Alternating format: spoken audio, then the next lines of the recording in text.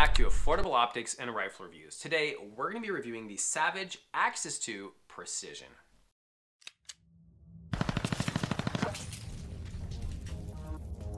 In this video, we're going to be reviewing the Savage Axis 2 Precision. Now, this is a fantastic barreled, ax barreled action chassis combo that you may want to get if you're getting into PRS type competitions and you don't have, well, let's say $2,000 to spend on, well, your rifle. Now, if you're looking to pick this up, you're going to be, you should expect to pay around $850 US, or if you're in Canada, about 1,050 to about $1,200 Canadian. Um, if you're looking for where to buy them, check out the links in the descriptions below. I'll leave that out for you. Um, now, what you need to know about this barreled action chassis combo. Um, the Savage Axis 2 Precision is a budget barreled action, which is very, very popular. And it's at Savage's Axis most low end for their uh, barreled actions. Now, regardless of how budget it is, Savage always provides really, really good accuracy when it comes to any of their rifles. So, pretty much every rifle that I've had from Savage, if they ever had an issue, it was never accuracy. So, and as far as chassis go, this is where Savage teamed up with MDT, Modular Driven Technologies. We did a review on their Savage, uh, sorry, on their MDT Oryx chassis. Um, they make fantastic chassis. They make some for the more affordable side, so the Oryx chassis or the XRS, all the way to their ESS, LSS, and I forget the other ones, but they're, they're pretty darn expensive and they retail for about a thousand bucks. So um, at their lowest end is about 500 all the way to about 1,000. Now this Savage Axis in 6.5 Creedmoor comes with a 22 inch barrel. So long enough to get some good velocity. It comes threaded for either suppressor or a muzzle brake. This, this rifle chassis has all the features. You have a 20 MOA rail, you have an adjustable comb height, adjustable length of pull. Um, it takes it takes AR-15 type uh, pistol grips, but I mean you probably won't really want to change it. This one is actually pretty good. Uh, it takes AICS magazines and it has M-LOK rails on the sides and on the bottom. So there are a lot of things that, well, there's pretty much everything you're going to need here for, let's say, getting into PRS or long-range shooting. Now let's start with probably the most important part of any rifle review is accuracy. Let's get to the range and check that out.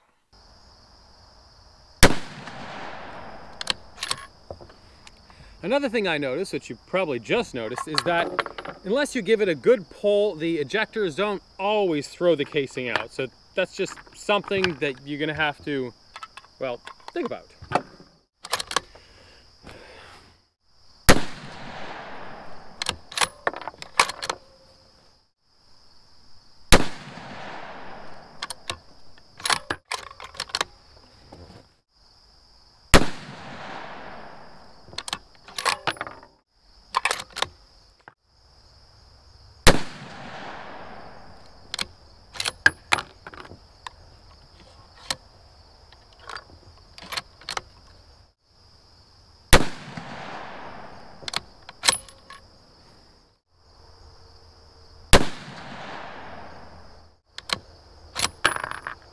By the looks of things, so we got a damn nice group going on there. Damn nice. Let's see if we can make it one shot better. Ah, made it a little bigger. now for accuracy, in the beginning when I originally bought this rifle, the first about 80 rounds through it weren't so good. I'm gonna, I'm gonna admit that right at the beginning. I'd have two rounds touching and I'm like, ooh, that's a great group. And now let's put a third one and four inches high and about two inches left. What is going on? I, well, I should have obviously known. I kind of figured it was the barrel breaking itself in and, well, that's exactly what it was. After about the first 80 rounds, uh, this rifle, the groups just snugged right up and I was doing sub MOA. It was beautiful. I mean, as you guys could see, uh, this rifle can give pretty good groups. So now let's use this rifle for what it was designed for. Let's go do some long range shooting.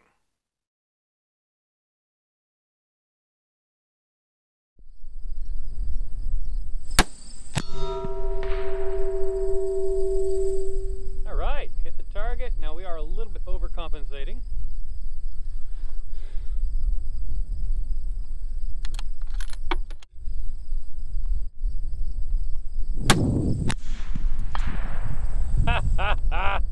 Love it! Beautiful.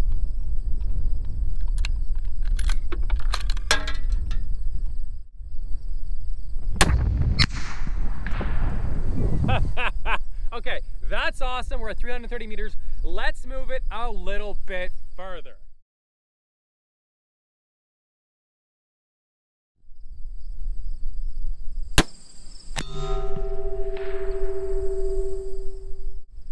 Looks like we're bang on.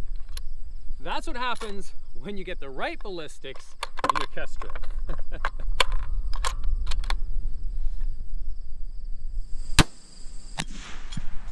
oh! Beautiful. I love it. I love this gun, you know. When a rifle works great right from the beginning, or pretty much, you know, it really gives you that confidence in the rifle. Whereas, you know, I haven't always had that experience with more budget actions.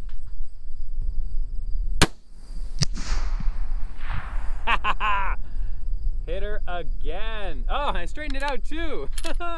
Love it.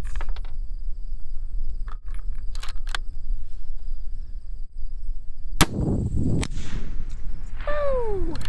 I love it. Let's hit it one more time and we're gonna try it a little bit further. You know, I don't know. Oh, well, yeah, that's what happens.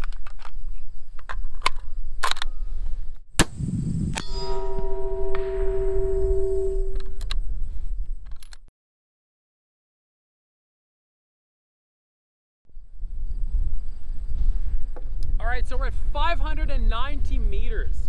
We're gonna recheck our wind. Ooh, it's picked up, ladies and gentlemen. 1.4 mils right. okay, let's see if that gets us where we need to be. Uh, how many mils up? Uh, five point, eh, five and a quarter, something like that. I know, 5.1. Okay, okay.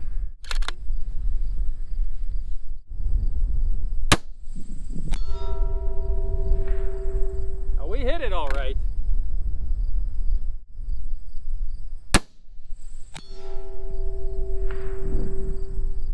Huh? Actually, we hit that guy pretty high.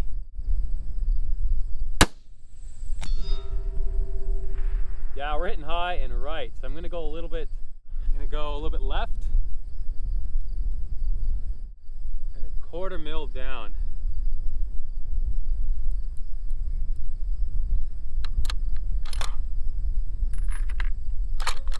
Let's see if we got her here.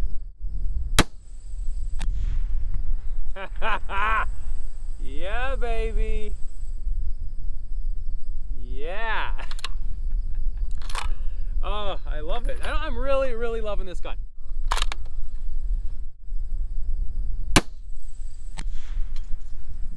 Oh yeah.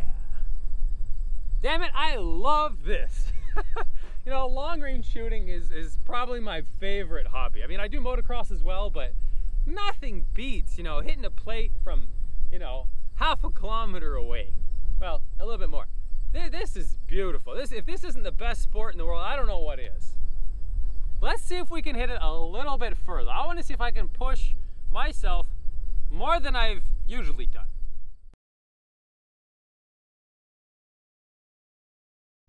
All right, so we're at 650 meters. This is pretty much as good as we can get because there's farmers out in the fields, as you can see. Uh, let's see if we can nail this guy again. So my Kestrel is telling me I gotta adjust for 6.7 uh, mils up Let's do what we're told. 6.7? No, sorry, 6.07. So, let's do it. Oh, and the wind. Can't forget about the wind or else we will just completely fail.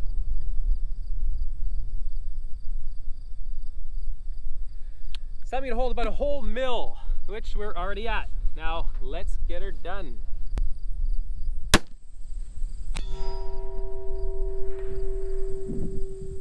I heard it. I heard a hit. I'm pretty sure I heard a, a thunk. I'm pretty sure I heard it.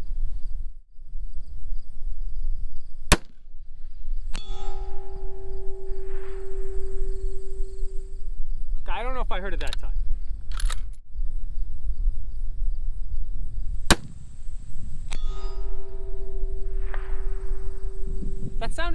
Hit, but you know what? I, I couldn't see it move.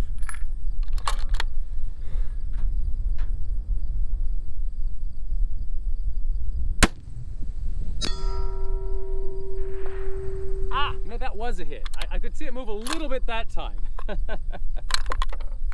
oh, this is so much fun.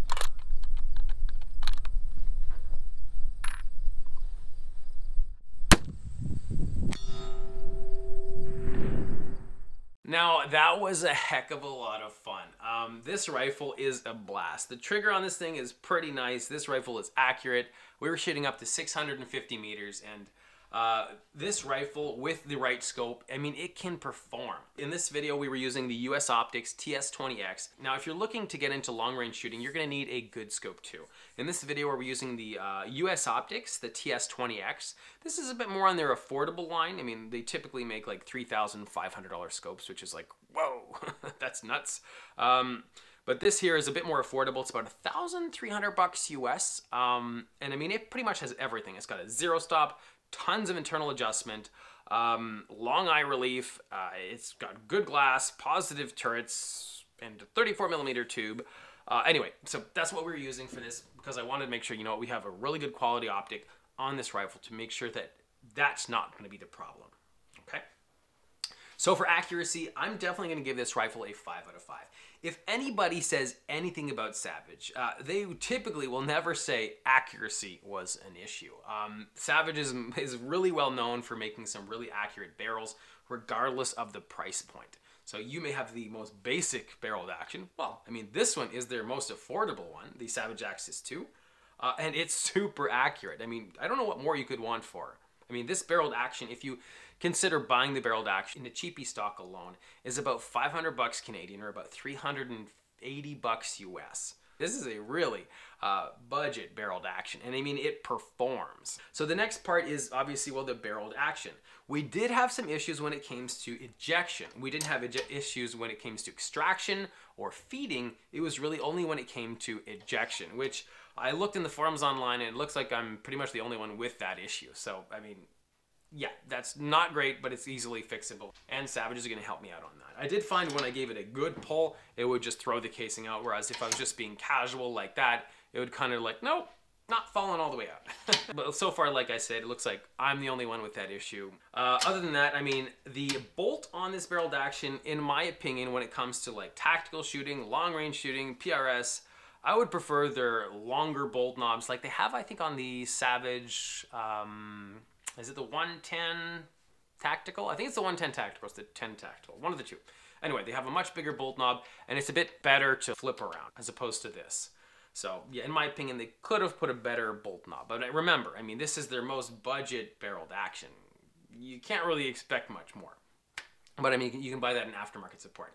On this barreled action, they did throw a 20 MOA rail, which is great. I mean, I have the Savage B22 Precision, which is the same concept you put a uh, budget barreled action into a fantastic chassis and there you go. Uh, but it didn't come with a 20 mm rail. This one did. I was really happy with that. I mean, you can really take advantage of a lot of the internal adjustment in most scopes. Now, if you do need more internal adjustment, you can always buy a 20 or you can always buy like a 30 or a 40 mm rail. There's plenty of support when it comes to rails. Other than that, um, the action itself isn't very smooth. I'm myself, I'm more used to Tikkas. I have three Tikka T3Xs and they are much smoother than this. This, in the beginning, it was actually a lot more gritty and it smoothened itself out significantly, but it's, it's not a Tikka. But it's about a third to half the price. But regardless of how it feels, it still performs really, really well. So for the barreled action, we are going to give it a 4 out of 5 for the reason of the ejection issues.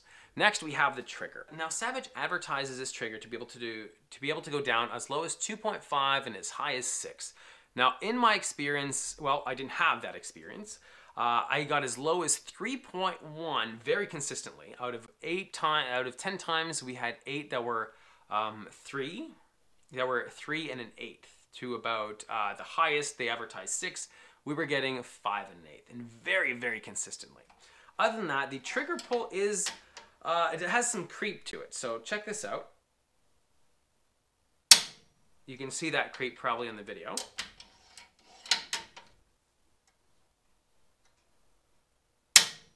Okay, so there is some creep to it, but it breaks at the same weight pretty much every time. So for the price, you're just not going to get better. This is still pretty darn good.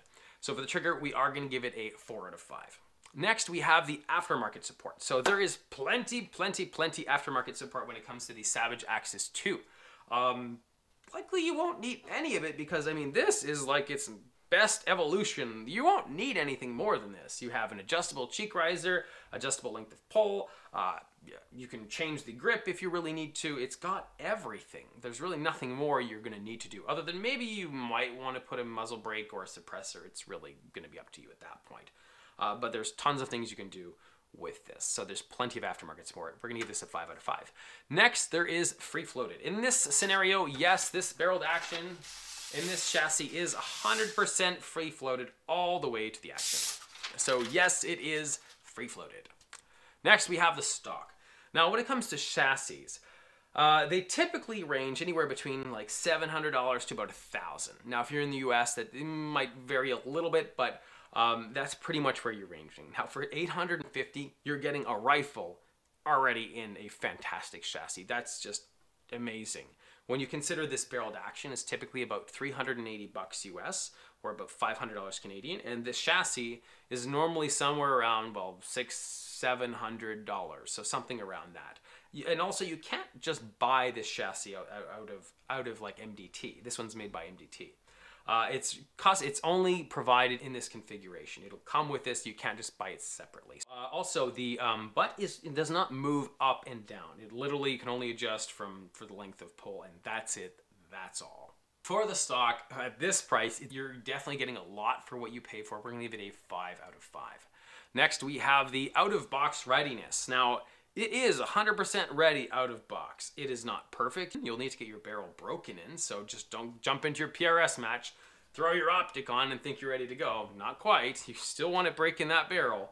But other than that, you're, you're, you're ready to go. You know, just adjust your cheek, your, your comb height for yourself, your length of pull for yourself, and uh, get yourself a decent bipod. I mean, and you're set. Uh, actually, another thing I did forget to mention is the magazine. So it comes with these polymer magazines. So for some reason, um, as you can see here, I just pulled one out, out of the, the magazine and uh, there's a little bit of a malfunction with there. Typically, I prefer the Accuracy International steel magazines from MDT. Um, I like never have any issues with these and they feed really, really well. So if you're considering, okay, I'm gonna go into a PRS type competition, you might wanna sort out your mags first. So yeah. Anyway, typically, uh, a lot of the times I'd say about maybe even a third of the time, I'd say about a third of the times I'll have like three rounds that are stuck here and none of them that really want to come up. It looks like the, the plate here is kind of just like kinked sometimes. Lastly, we have the warranty. Now, Savage only offers a one year limited warranty, which I mean, they're going to cover everything that's like defectiveness of workmanship. They're, they're going to cover you for that. Don't worry about that. They got you covered. Um, but the year isn't all that much. But Savage is actually well known for going above and beyond their one year warranty, which is really great. Um, it's really cool that a company will provide more than what they list instead of trying to barely cover what they what they list in their warranty. So, I mean, that's really really great of Savage to do that. And uh, I mean, as much as we always want lifetime warranties, I mean machinery wears out. I mean, it's it, it's cars wear out. Uh, so will a rifle if you put enough rounds through it. So it's kind of normal that they're not going to give you a lifetime warranty. So uh, for the warranty, we are going to give it a three out of five.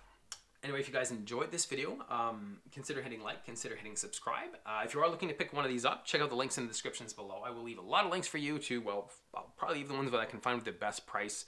Uh, so check those out. Also, this rifle does come chambered in 243 Winchester, 223, 270 in 30-06, and well, obviously, this like this one, in 6.5 Creedmoor. So, uh, if you guys enjoyed this video, consider hitting like, consider hitting subscribe, and I'll see you on the next review.